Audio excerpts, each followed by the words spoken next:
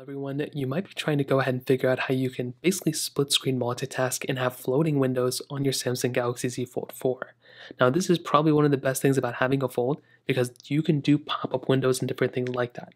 So, the first thing you want to do is you want to load into an application that you want to go ahead and split screen from. Now, sometimes it allows us to go and choose a different one, but for the time being, you can also go and open up a different application too. So, we'll just open up a clock, for example. Now, if we go and hop out of these, what we can do is we want to get into our, full, our multitasking panel.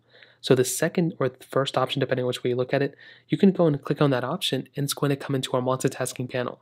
Now here what you want to do is you want to find an application that you can multitask or float into. Like I said, not every application is compatible, but in this case, if we wanted to choose this one, what we can do is we can go and click on the Play Store icon right at the very top, as you can see, I'll do it again. That little icon at the very top of that window, we can click there and we can either open this application in split screen view or we can open it up in pop-up view. So I'll show you the difference in split screen view. If you click here, you can go and have an application on this side and you can have a different application on the other side. And that's basically how you can open it up in split screen view. And I think this is very cool. A lot of people use it this way. But instead of this way, what you can also do is you can just go ahead and I guess, you know, split it out of this way. You can grab this and kind of remove them. What you can also do is go ahead and choose it into pop-up window. So if you open up in a pop-up window, you can see it's its own window. So now you can just freely use this application as you normally would. And with the 12 gigs of RAM inside this phone, that means more than enough to handle everything you'll throw at it.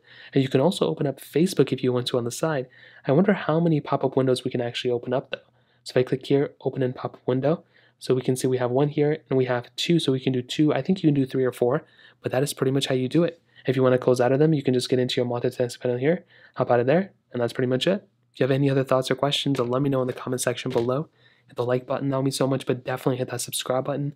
More importantly than everything else, I love every single one of you guys. Hopefully I'll catch you guys in the next video. Peace out.